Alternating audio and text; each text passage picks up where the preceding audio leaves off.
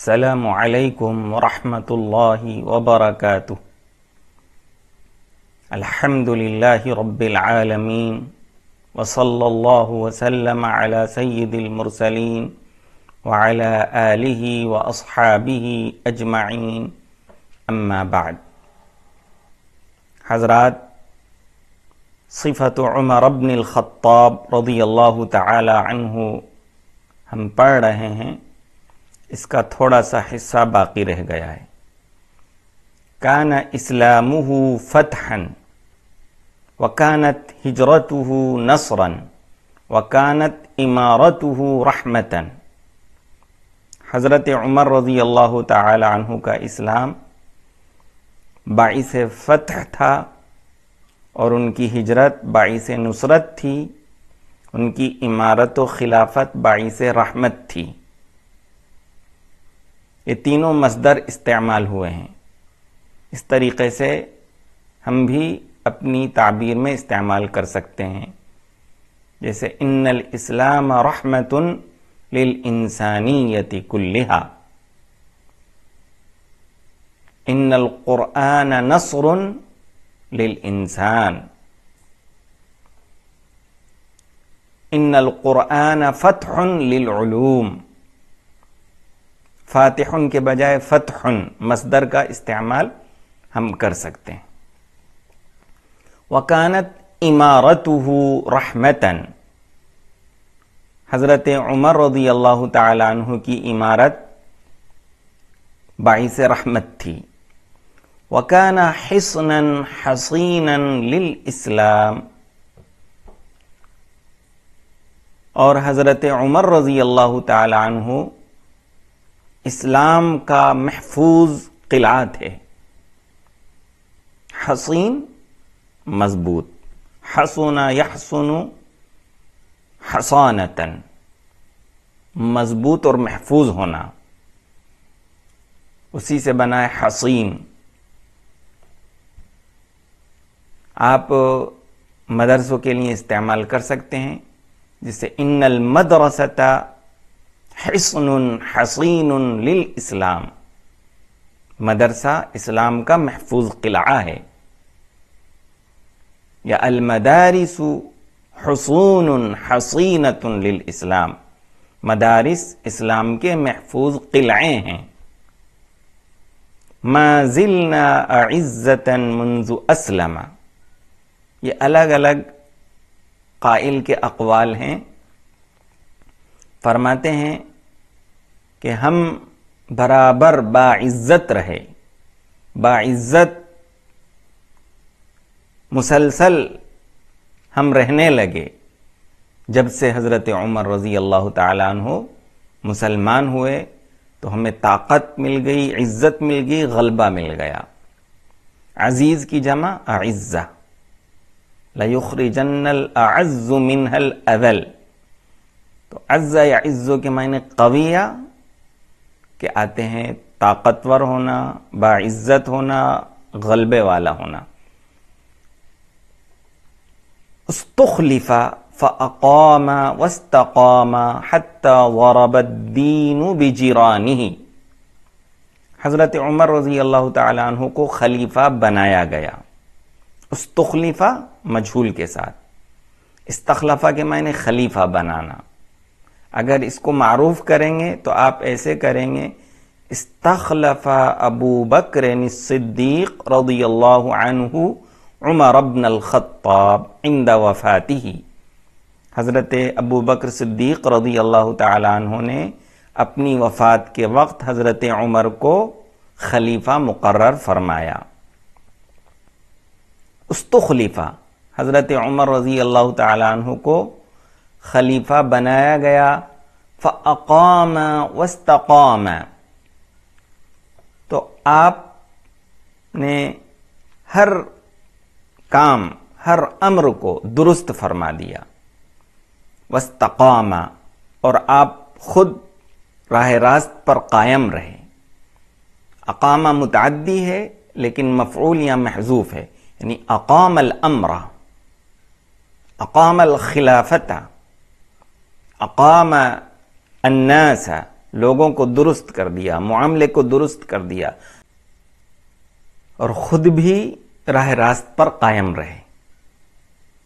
बस तकामा यानी सारा अल तरीक मुस्तकीम, लम यजल मुस्तकीमन, हत्ता वरबद्दीन बिजिरानी आप राह रास्त पर कायम रहे, लोगों को दुरुस्त फरमाने पर तवज्जो दी, हर चीज़ को उसके अतदाल और तनासब के मुताबिक करने की कोशिश की।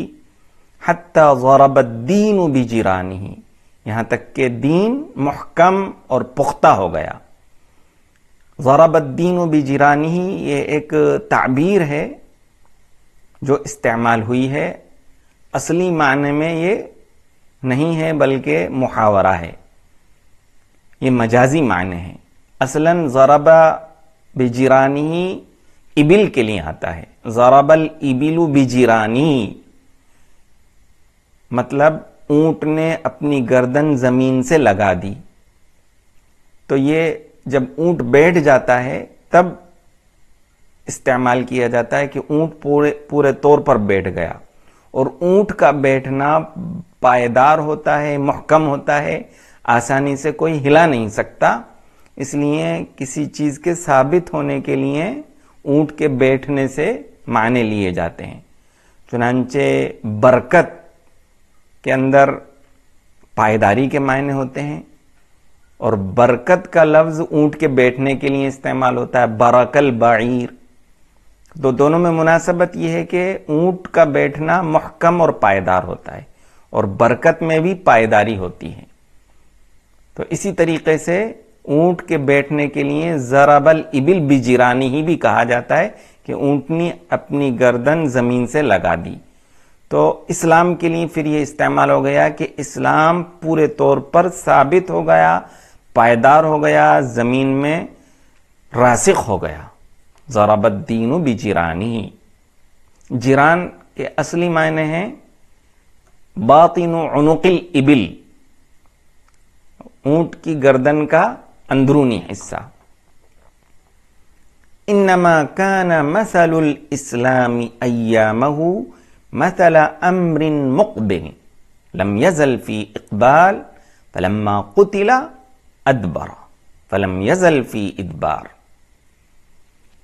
इस्लाम की मिसाल उनके दौर में, अय्यामहु में नस्ब, जरफियत की बुनियाद पर है, मफउल फ़ी भी कह सकते हैं। इस्लाम की मिसाल उनके ज़माने की, यानी उनके दौर खिलाफत में इस्लाम की मिसाल ऐसी थी, मसाला अमरिन मुकबिल, कि कोई मामला है जो बराबर तरक्की कर रहा है। फलम यजल्फी इकबाल, और वो बराबर तरक्की में रहा। यानी इस्लाम बराबर तरक्की करता रहा उनके दौर में। फलम्मा कुतिला, जब वो शहीद हो गए, शहीद कर दिए गए अदबरा।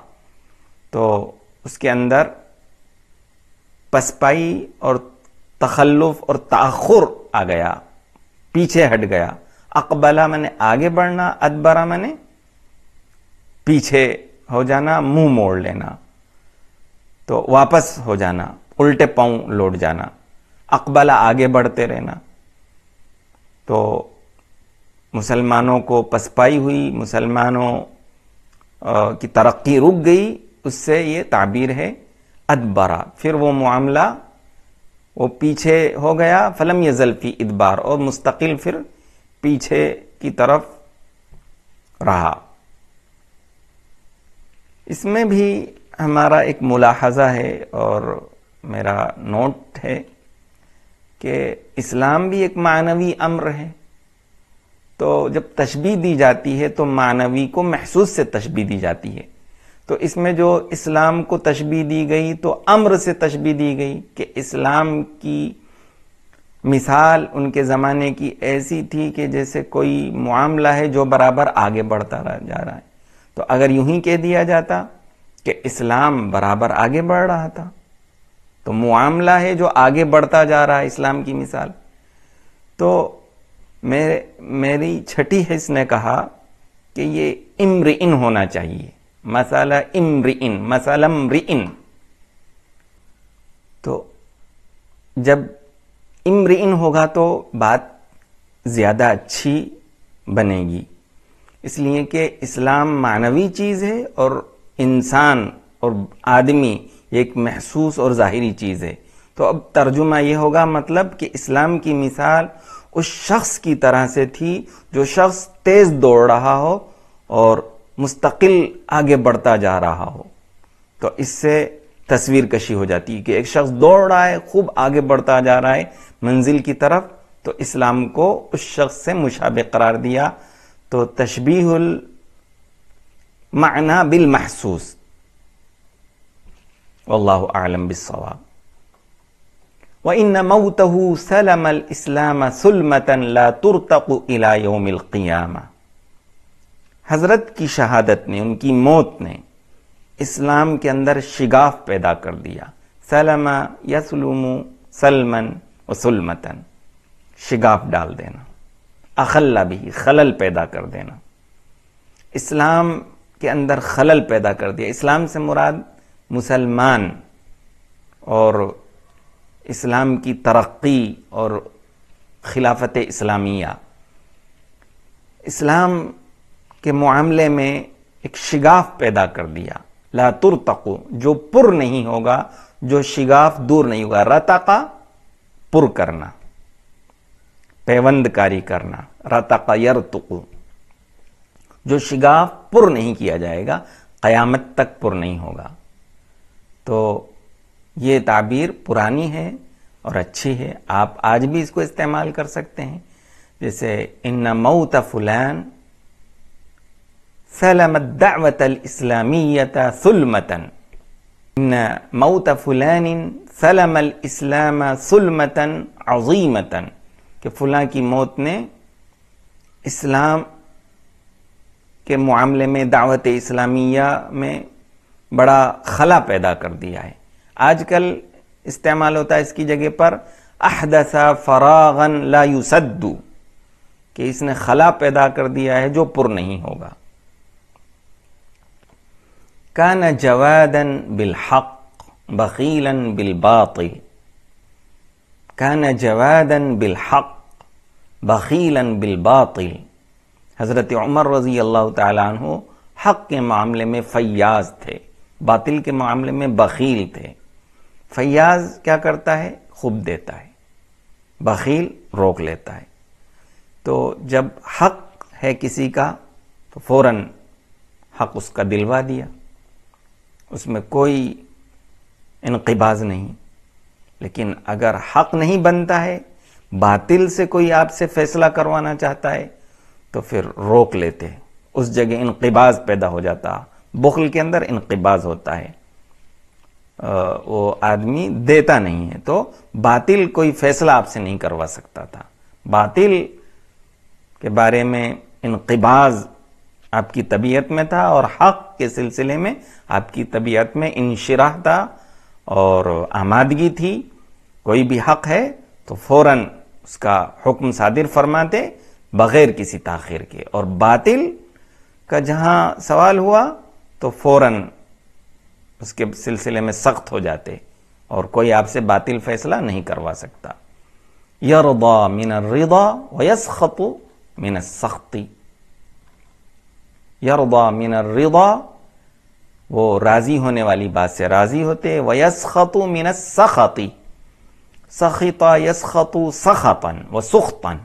दो मजदर इसके आते हैं। सखित यसखत सखतन व सुख्तन। और नाराज़ होने वाली बात से नाराज़ होते। लम यकुन मद्दाहन वला मिगियाबन। तारीफ़ में मुबालगा करने वाले नहीं थे, गीबत करने वाले नहीं थे। मद्दाह, मदह का मुबालगा है, और मिगियाब, गीबत का मुबालगा है मिफ़ाल के वज़न पर मिन आम तयबत तरफ़ आफीफत तरफ़। एक को तरफ़ पढ़ेंगे और एक को तरफ़ पढ़ेंगे। तरफ़ कहते हैं आँख को। यंजुरून इलई का बेतरफिन खफी। और तरफ़ कहते हैं किनारे को, दामन को। पाकिजा नज़र थे और पाक दामन थे। तयबत तरफ़, अफीफत तरफ़। वक़ाफ़न आइंदा किताबिल्ला अल्लाह की किताब के आगे रुक जाने वाले और ठहर जाने वाले थे। यानी अल्लाह का हुक्म आ गया, अल्लाह की किताब का फैसला आ गया, बस वहीं रुक गए, उससे आगे नहीं बढ़े। वो काना वक़ाफ़न इंदा किताबिल्ला एक वाक़ इस सिलसिले में आता है कि हुर बिन कैस एक सहाबी हैं, जो हज़रत उमर रज़ी अल्लाह तु के करीबी लोगों में थे, साहिब इल्म थे। उनके चचा एक कम इल्म थे। उन्होंने इनसे सिफारिश की कि हम हज़रत उमर से कुछ बात करना चाहते हैं। तो हुर बिन कैस की सिफारिश से उनके चचा चचा को हज़रत उमर ने इजाज़त दे दी आने की और कुछ अर्ज़ करने की। तो वो आते के साथ ही हज़रत उमर को सख्त सुस्त कहने लगे, या उमर यबन अल खत्ताब, ला तहकुमा, ला तहकुम फीना वला अल जज्ल कि आप आदल नहीं करते हैं, आप मालो दौलत तकसीम नहीं करते हैं। हज़रत उमर रज़ी अल्लाह तन हो कि ज़रब तो कवी थी मुजान अभी आएगा। तो इरादा किया कि उसको मारें। लेकिन हुर बिन कैस मसले की नज़ाकत को समझ गए और कहने लगे कि अल्लाह तबारक व ताली कुरान शरीफ में फरमाता है, खुद अफवा व मुरबिल उर्फ़ व आरिद अनिल जाहिलीन कि आप बेतकल्लुफ बात जो हो, उसको लेने वाले बन जाइए और नेकी का हुक्म कीजिए और जाहिलों से एराज कीजिए। और ये नावाकिफ शख्स है, कम पढ़े लिखे हैं। तो उसी वक्त हज़रत उमर रज़ी अल्लाह का गुस्सा काफूर हो गया और वहाँ कहा गया, रावी कहते हैं, वकाना वक़ाफ़न इंदा किताबिल्ला। जैसे ही कुरान की आयत पढ़ी, बस रुक गए। वकाना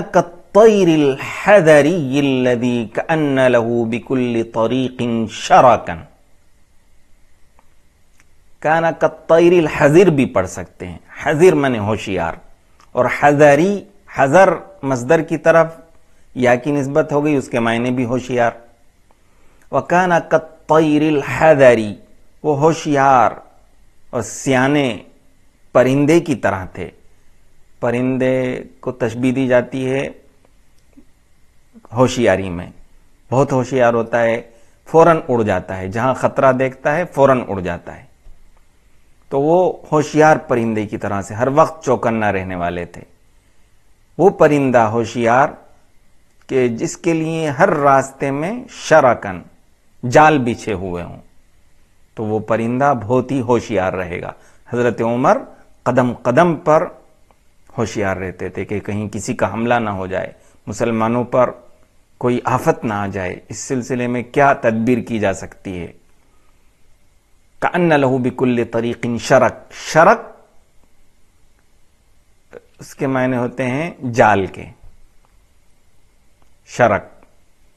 इसलिए कि फंदा होता है, शरक के मायने फंदा, क्योंकि वो फंसा लेता है, शरीक कर लेता है वो। तो इसलिए जाल को शरक कहते हैं। कलील अब्दह की लायुमाजिह अहदन। बहुत कम हंसने वाले थे, किसी से ज़्यादा मज़ाक नहीं करते, मुकबिलन आला नहीं अपने काम की तरफ़ तवज्जो फरमाने वाले थे। आप इस्तेमाल कर सकते हैं। कोई शख्स इधर उधर के कामों में फंस रहा हो, आप कह दीजिए, अकबिल आला शनी का अपने काम की तरफ़ तवज्जो करो इधर उधर ना तवज्जो दो। इजा तकल्लमा असमा, व इदा मशा असरा, व इजा दौराबा औजा। जब बात करते तो बुलंद आवाज़ से बात करते कि लोग सुन लें, सुना देते, अस्मा। यानी असमान्नास असमा जालिसीन इसका मफूल महजूफ होगा। और जब चलते असरा तो फुर्ती से चलते। असरा फ़ी मशी ही और जब मारते किसी को औजा, यानी औजा जहर हो औजा जिस्म हो उसके जिस्म को दर्द में मुबतला कर देते। फ़ुकाना ज़रबहू मूजान यानी हज़रत उमर की ज़रब दर्द पैदा करने वाली